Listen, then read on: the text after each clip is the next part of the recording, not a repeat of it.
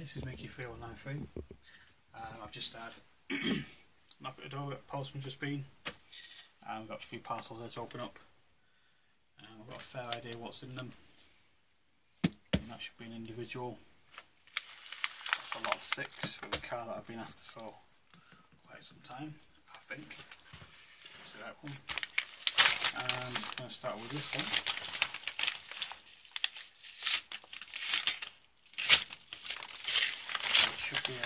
Johnny.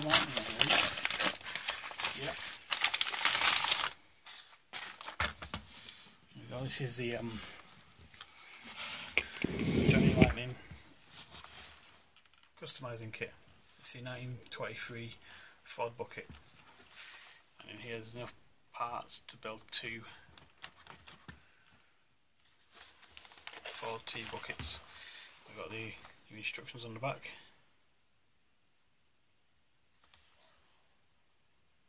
Version A, version B, um, parts list.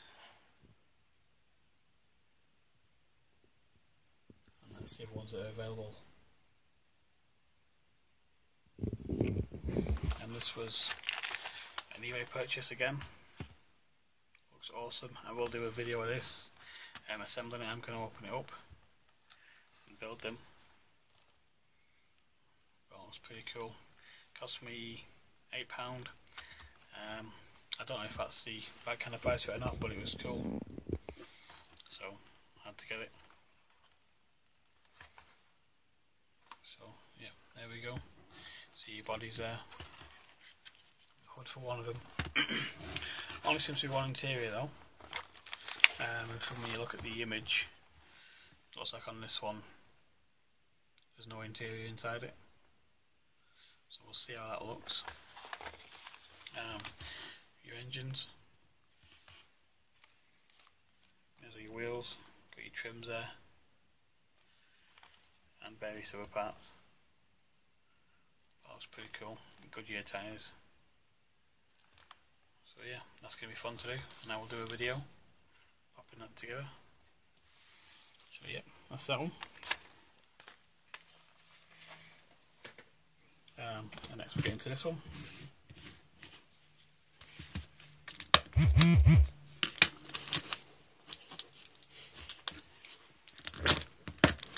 I'm not sure what space I've got on my phone here, so I might end up this might end up cutting, or the battery may even end up going.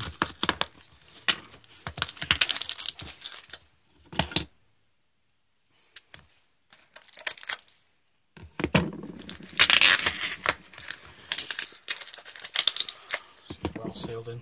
Might take me a video just to get this.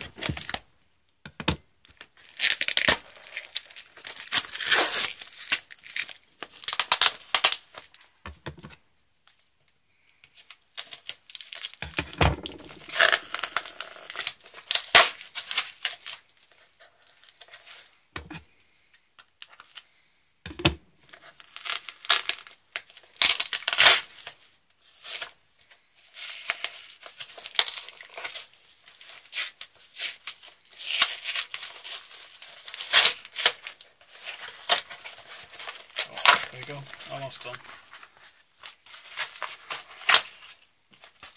we go inside. Some pink bubble wrap. Tape stuck to the camera now. There we go. Some more bubble wrap. There we go, here's the car right inside.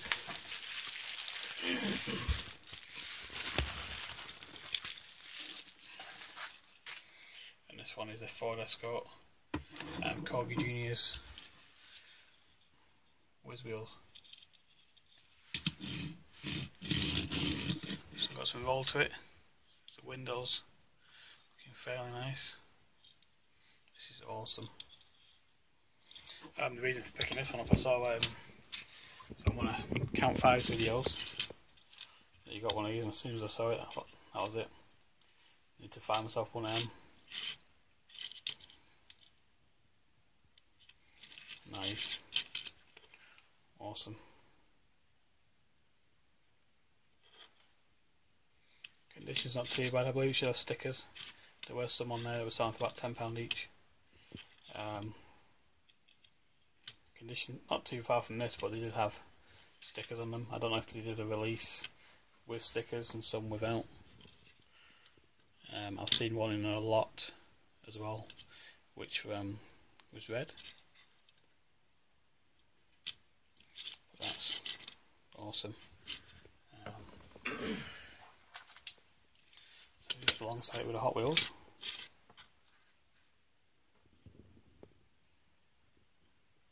Looks very cool. Scaling is very similar.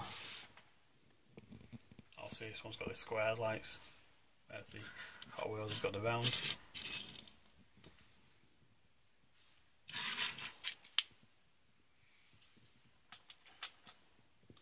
yeah, that's pretty awesome. Um, I am very tempted to strip it and give it a fresh coat of blue and then get all this polished up on the front. But we'll see. Um, so yeah, that's that one. And the next box is here. Um, this was aiming for one main car that was in the lot, which I've been after for a while. If this is the one I think it is, from Little Wheels Museum, eBay. Very nice and neatly packed.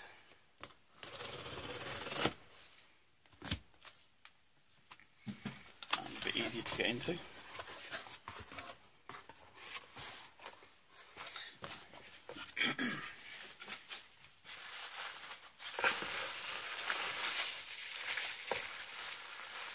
start off in here. We have an all metal base, metal body. This is marked up in 1999 and this is a Ferrari 365 GTR. And that's apart from a couple of little bites there. Condition that's absolutely spot on. That's cool. That one. Um, next up we have so one um, McDonald's Hot Wheels. I mean this this cost me this was a 99 pence bid and I think what it is is because the advertising was you know Hot Wheels lot and you see all these cars sat there and people aren't interested. You don't pay much attention to it. But then if you if you look carefully, um, we have. See, there's no real interest for these. Um, this is a RD03. I have no interest in it. We do have a logo on there. Is this a treasure hunt? Is that a regular? It's got a little flame logo on the bonnet. Not sure.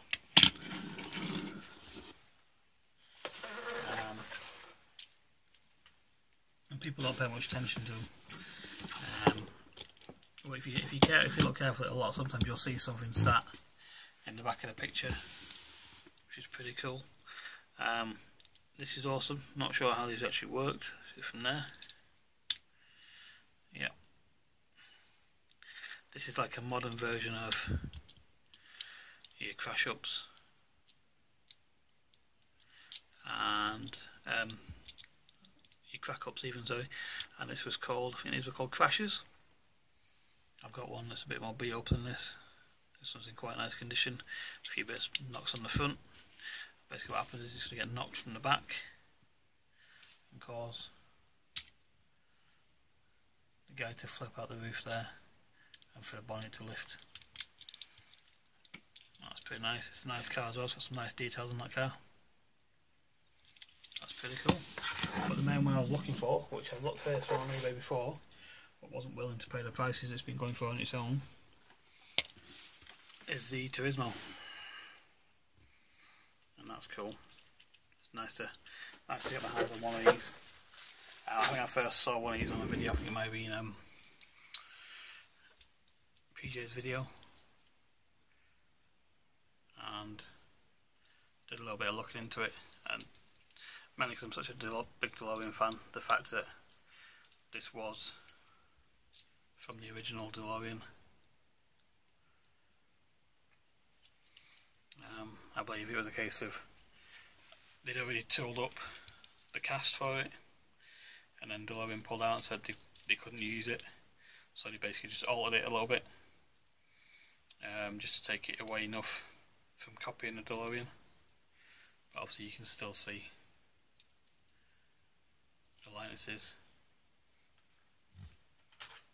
And obviously we've got the new one where they basically use the same kind of tempo design. So that's pretty cool. Um, condition wise, not too bad. Especially you know when you consider the age of it. Um, wheels are in nice condition, roll's nice, and as I say, the um, you see them going on their own for like ten pound, and that's that's when they do appear on eBay. But this lot cost me ninety nine pence. This one was just sat tucked at the back corner of the picture and it's all about just looking carefully. Um, when I go on eBay, all I'll, all I'll basically do is I'll just search lot and then just change, refine the search for diecast, and it can bring up all kinds of stuff because not everyone puts the proper descriptions on, and that's what it is. It's just it's just being lucky enough to find something. Um, not everyone lists them as they should be.